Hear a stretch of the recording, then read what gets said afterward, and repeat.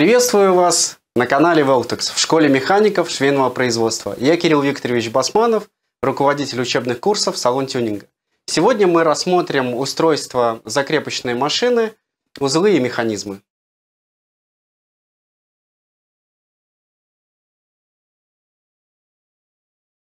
Данное оборудование используется при изготовлении спортивного снаряжения, военного снаряжения, разгрузок, бронежилетов, подсумок для гранат. Данная машина изготавливает швы закрепочные. Здесь очень большое количество стежков, и поэтому шов очень крепкий.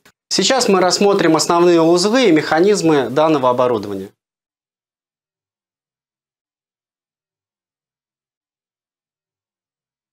Голова, рукавная часть, стол, консоль для ниток, электромотор, кнопка включения и выключения электромотора, педаль привода пуска машины.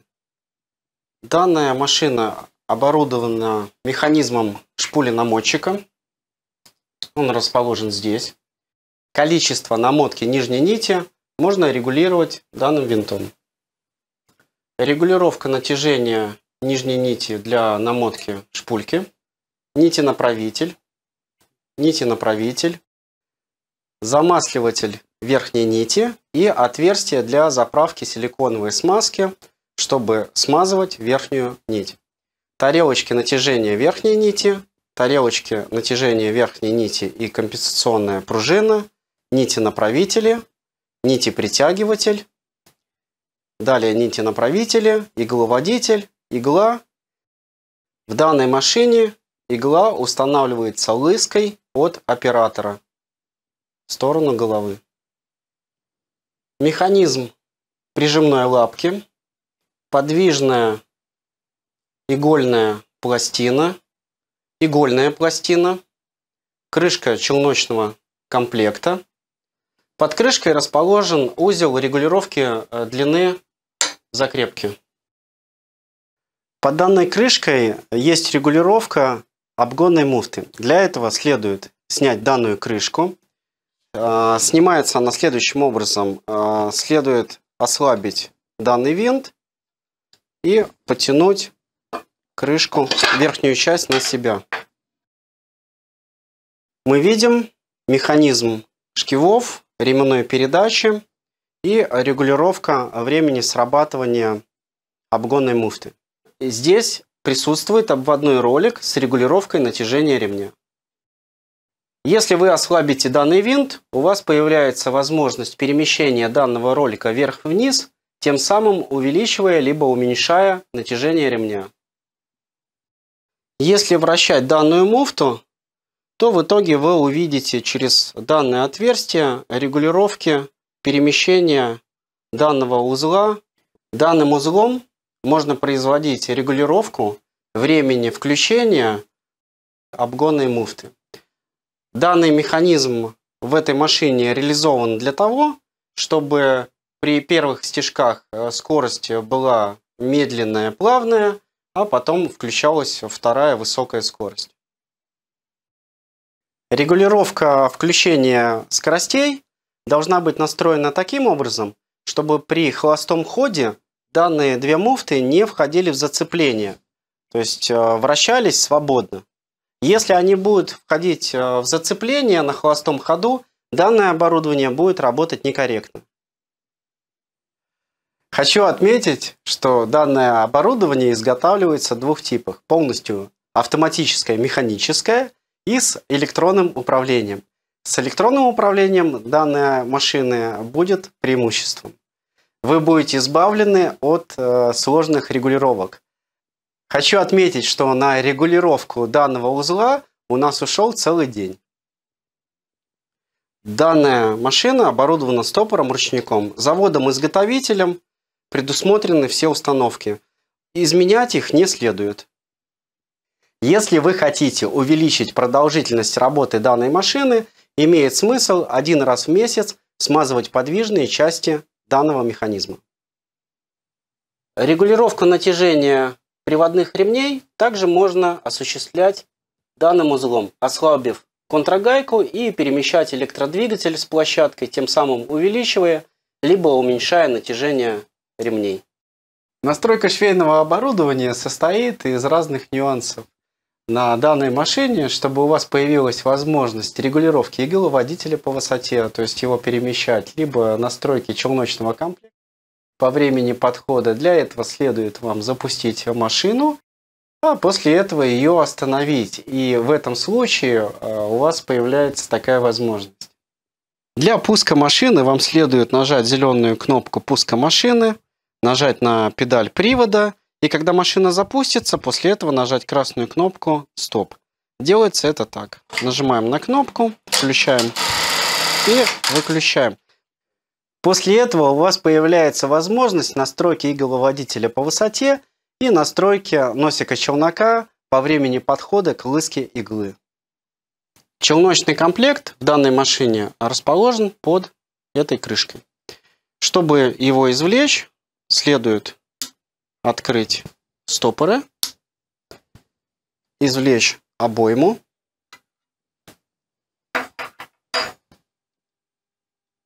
и челночный комплект вместе со шпульным колпачком. Челнок качающегося типа состоит из челнока, обоймы и толкателя челнока, который оборудован регулировкой времени подхода носика челнока к игле. Хочу отметить один важный момент. В начале рабочей э, смены имеет смысл посаживать одну капельку смазки в челночный комплект. Регулировка времени подхода носика челнока к игле производится следующим образом. Для этого следует ослабить винт под шестигранник и производить э, регулировку, вращая носик челнока либо вперед, либо назад, тем самым выставляя время подхода носика челнока к игле. Зазор между носиком челнока и иглой сбивается очень редко, но если вам потребуется такая регулировка, для этого следует подразобрать э, рукавную часть, и там вы увидите упорные винты, и можно колбу челночного комплекта перемещать вперед-назад, тем самым устанавливая зазор между иглой и носиком челнока. Данные регулировки и настройки требуются для того, если нижнюю нить рвет, пропуски в стежках, либо ломает иглу. Хочу отметить, что регулировки э, настройки челнока к игле следует производить после того, как вы убедились в правильных зазорах игловодителя к игольной пластине, либо челночному комплекту. Также хочу отметить нюансы по заправке шпульки в шпульный колпачок. Шпульный колпачок устанавливается на палец челночного комплекта таким образом, чтобы нити-направитель зашел в паз челночного комплекта и после этого пальчиком нажать, чтобы произошел характерный щелчок. Регулировка игловодителя по высоте производится следующим образом. Для этого надо снять данную заглушку, и мы увидим э, доступ э, к регулировочному винту.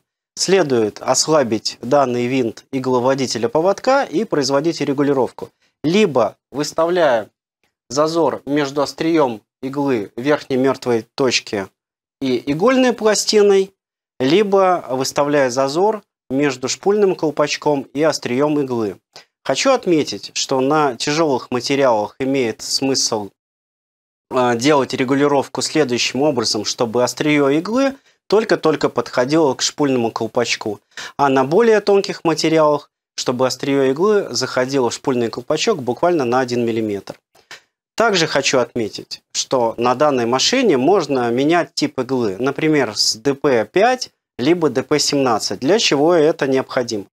Если при шитье у вас очень толстая заготовка и тип иглы DP5 входит по самую колбу в заготовку, а, можно ее заменить на тип иглы DP17, тем самым увеличив а, ширину изготавливаемой заготовки.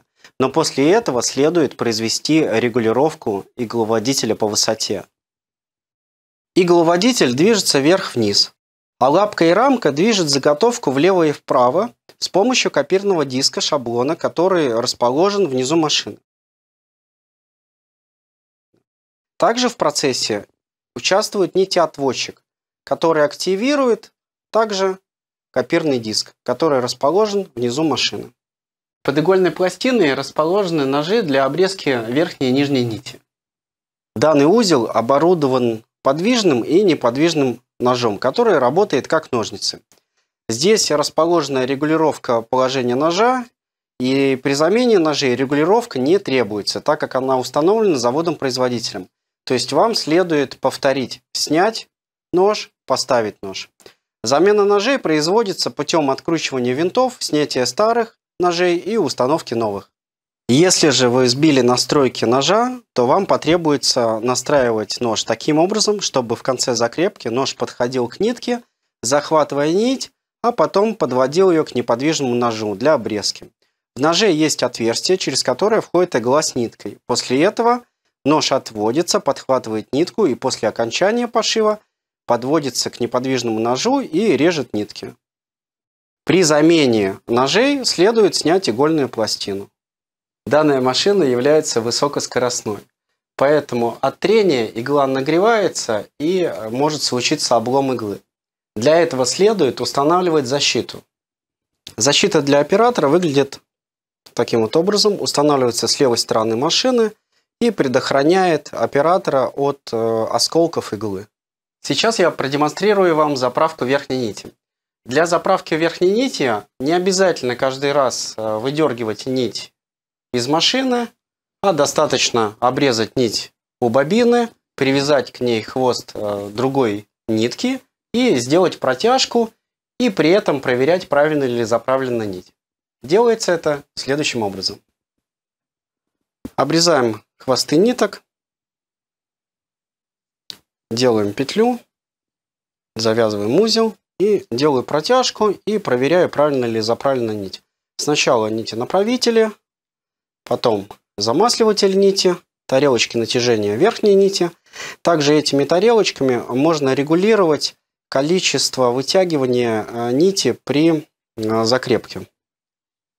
Далее через тарелки натяжения, через компенсационную пружину, нити направитель и нити притягиватель к игольному игловодителю и в иглу от оператора к машине. Регулировка верхней нити производится данным винтом. Этот процесс очень похож на регулировку прямострочной машины. При регулировке верхней нити имеет смысл данный винт подтянуть ну, с разумным усилием. И при настройке постепенно данный винт ослаблять, если заготовку стягивает. Если же э, верхняя нить снизу петляет, то наоборот данный винт крутить по часовой стрелке, тем самым дополнять натяжение. Также натяжение верхней нити можно регулировать данным нити направителем. То есть перемещая скобу влево-вправо, тем самым уменьшая либо увеличивая э, натяжение верхней нити. Регулировка натяжения нижней нити в шпульном колпачке производится следующим образом. Путем ослабления либо вкручивания данного винта, либо уменьшая, либо увеличивая натяжение нити, чтобы при колебании за нитку шпульный колпачок по нитке опускался примерно на 2-3 сантиметра. Хочу отметить важный нюанс. Очень важно заправлять нижнюю нить в данный узел. Рассмотрим систему смазки данного оборудования. А данная машина требует ежедневной смазки в количестве 20 грамм. Заливка масла осуществляется через данное отверстие. Также здесь есть окно а, проверки верхнего накопителя масла и а, окно для смазки узлов и механизмов. Я хочу вам продемонстрировать масляную систему данной машины. Для этого мне потребуется снять верхнюю крышку и боковую. Чтобы снять верхнюю крышку, берем шлицевую отвертку и выкручиваем винты в количестве 5 штук. В данной крышке есть индикатор накопителя масла. Когда масла мало, данный индикатор красного цвета. Когда норма, он становится прозрачным. Сняв верхнюю крышку, мы видим накопитель масла в виде фетрового картриджа и систему смазки в виде пластиковых трубок с фитилями, по которым идет подача масла к узлам и механизмом данной машины. Также имеет смысл раз в месяц капельным способом смазывать все движущиеся части данной машины.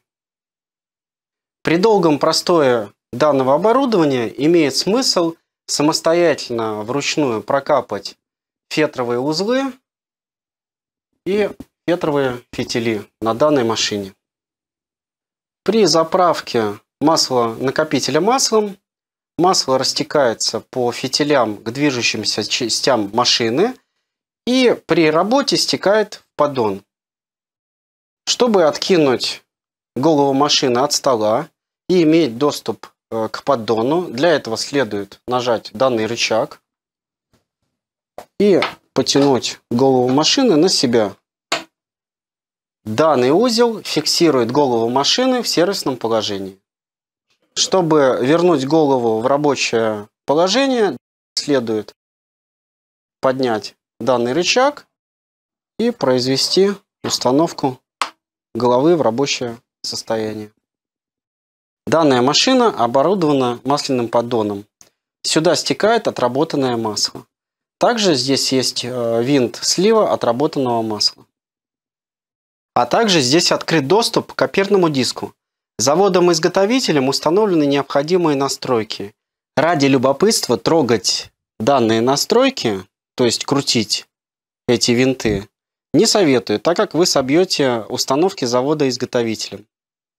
Хочу отметить, что ослабляя данные винты и переставляя их по овальной прорези, вы можете изменять время работы копирного диска. Если вы хотите делать такие закрепки, для этого вам потребуется оборудование с компьютерной программой и шаговыми двигателями, которые проще в работе и обслуживании. На более современных машинах накопитель масла устанавливается отдельно, большего объема.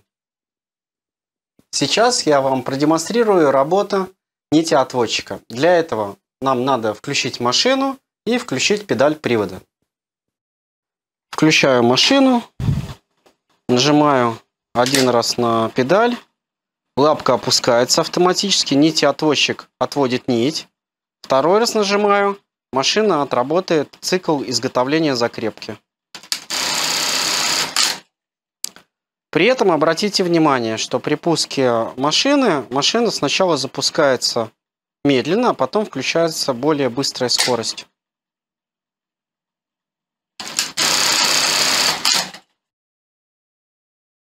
Нити отводчик требуется для того, чтобы при следующем пуске машины а, нить не выскакивала из иглы. Сейчас я продемонстрирую, как делается регулировка нити отводчика. Устанавливаем иглу в верхнюю мертвую точку. Настройка нити отводчика к игле должна производиться следующим образом. А, должен быть зазор между иглой и лапкой примерно 8 мм с одной и с другой стороны. Чтобы проверить настройку нити отводчика, следует включить машину, запустить и выключить. А после этого э, появляется возможность перемещения данного узла. Настройка производится следующим образом. Для этого надо ослабить данный винт и перемещать данный узел либо вверх, либо вниз, чтобы был достаточный зазор между иглой и э, прижимной лапкой. Если нити-отводчик выбирает очень много верхней нити, то можно добавить дополнительное натяжение на данных тарелочках, и в этом случае нити-отводчик будет выбирать меньшее количество нити. Также хочу отметить, что при остановке машины данные тарелочки раскрываются. И данная регулировка натяжения, она как раз влияет на количество выбираемой нити нити отводчиком. Подъем лапки в данной машине производится через э, муфту и обгонную муфту.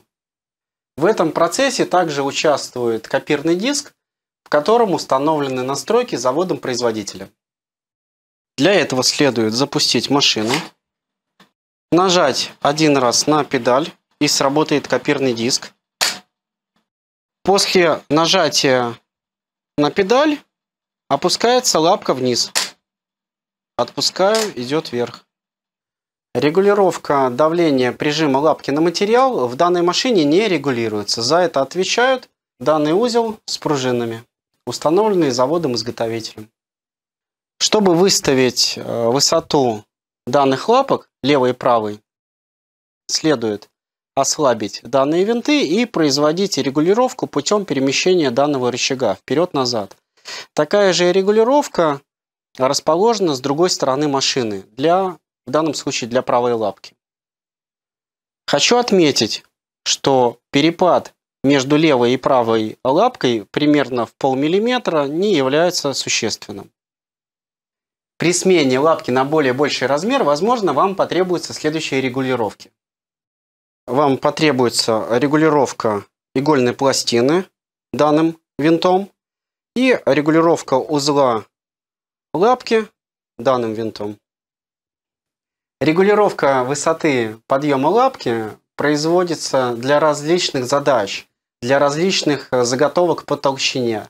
Данная регулировка производится таким образом, чтобы при подъеме лапки она не была выше острия иглы. Ослабив данный винт, у вас появляется возможность перемещения лапки по высоте вверх или вниз. После настройки данный винт следует затянуть. Для настройки лапки по высоте вам потребуется сначала запустить машину, нажать на педаль привода, а потом выключить. Таким образом, чтобы у вас появилась возможность перемещения игловодителя в верхнюю мертвую точку и под нее настраивать высоту подъема лапки. Регулировка длины закрепки производится следующим образом. С правой стороны от оператора открываем данный люк и видим шкалу с регулировкой. Для настройки длины закрепки следует ослабить данную гайку и перемещать рычаг, либо уменьшая, либо увеличивая длину закрепки. После настройки данную гайку следует затянуть. С левой стороны машины от оператора расположены заглушки для монтажа и фиксации узлов и механизмов, а также регулировка ширины закрепки. Для регулировки ширины закрепки следует открыть данную крышку, ослабить данную гайку и произвести регулировку путем перемещения данного рычага. После настройки данную гайку следует затянуть. Наверняка вы заметили, что в шкалу регулировки вкручен винт. Данную настройку по ширине стежка можно увеличить, но для этого вам потребуется заменить установочный комплект лапки. При изменении заводских регулировок снятия винта вам потребуется синхронизация движения иглы и игольной пластины. Для этого вам потребуются настройки в копирном диске. При изменении ширины закрепки настройка натяжения верхней нити вам не потребуется. Но, возможно, она потребуется при изменении толщины заготовки. Намотка нитки на шпульку производится следующим образом. Для этого следует заправить нить с бобины в данные тарелочки, вывести нить на шпульку, намотать ее вручную, установить на данный палец, завести шпули-намочек, кстати, здесь э, расположен винт э, регулировки количества намотки нити. И после этого запустить машину. Включаем машину. Происходит намотка.